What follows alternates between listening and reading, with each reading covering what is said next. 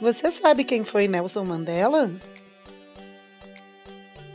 Nelson Rolilala Mandela nasceu dia 18 de julho de 1918 na cidade de Mvezo, na África do Sul.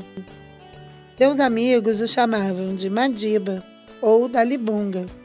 Estudou direito, sendo o único negro em sua turma, e depois de formado, atuou como advogado, defendendo vítimas de políticas de segregação racial.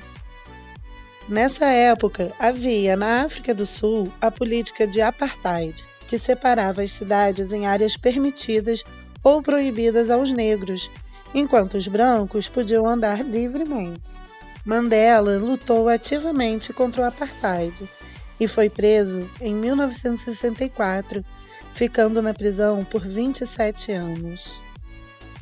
Em 1993, Mandela ganhou o Prêmio Nobel da Paz e em 1994 foi eleito presidente da África do Sul, tornando-se o primeiro presidente negro de seu país.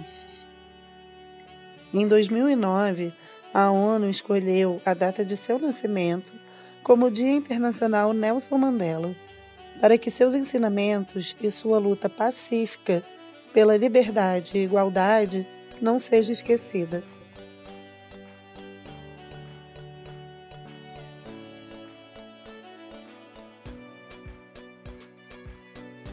Mandela faleceu em 5 de dezembro de 2013, aos 95 anos. Viva Nelson Mandela!